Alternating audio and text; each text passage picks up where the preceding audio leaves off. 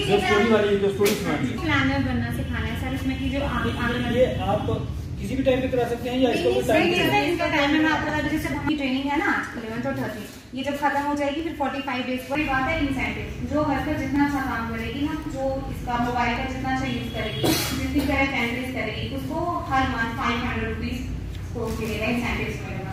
Innovations में जैसे हमारे पास आपको पता है स्वस्थ भारत प्रेरक आए थे। हमारे पास चुका है। ये कैश के बारे में भी मैंने आपको बता दिया ये जो सॉफ्टवेयर है इसकी ट्रेनिंग ट्रेनिंग बाकी ये इतने स्मार्टफोन्स हम ले चुके हैं thirty four thousand two forty eight अभी ले लिए हैं बाकी डिस्ट्रिक्ट के लिए। और ग्रोथ मॉनिटरिंग डिवाइसेस आप सबको मिल चुकी हुई हैं शायद हर सेंटर में होंगी। आगे हुई है ना? ग्रोथ मॉनिटरिंग डिवाइसेस हमें बताएँगे फिर भी आप सबको पता है कम्युनिटी बेस्ड आपको एक कैलेंडर भी इशू हुआ है कि ये फ़र्स्ट वीक में भी करना है और मंथ के थर्ड वीक में भी करना है। है तो ये हर सेंटर पे होना चाहिए क्योंकि इसके लिए आपको टू फिफ्टी रुपीज़ मिल रहा है। कौन से वीक हाँ सेकेंड वीक वो थर्सडे में जो कैलेंडर इशू है हमारे स्टेट में वहीं मनाते हैं। इसमें ये क्या है, ये जॉइंट वेंचर है आईसीडीएस का और हेल्थ डिपार्टमेंट में आईसीडीएस की वर्कर्स क्या करती हैं?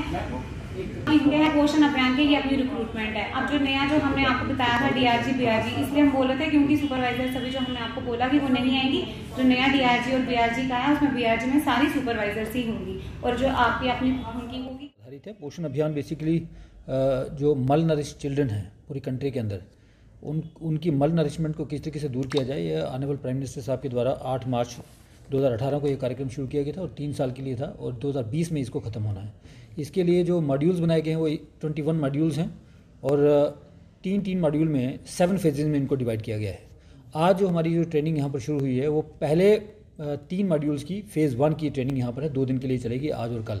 सारे सी और जो भी इसके साथ रिलेटेड दूसरे डिपार्टमेंट हैं फ्रंट लाइन डिपार्ट जो वर्कर्स हैं, उनको यहाँ पर ट्रेनिंग दी जा रही है ताकि वो जहाँ कहीं भी उनको स्कूल में या आंगनबाड़ी सेंटर्स में कोई मल नरिश बच्चे मिले, उनको किस तरीके से ठीक करना है, किस तरीके से मोटिवेट करना है लोगों को, ये लोगों लोगों के बीच में, बैठ के लोगों के बीच में अवेयरनेस लानी है कि किस तरीके से आपको घर में जो डिलीवरीज होती हैं उनको अवॉइड करना है और लोगों को गाइड करना है जाके हॉस्पिटल्स में डिलीवरी करवाएँ ताकि किसी किस्म की भी कॉम्प्लिकेसी को अवॉइड किया जा सके और मदर की हेल्थ को और बच्चे की हेल्थ को बिल्कुल ठीक रखा जाए।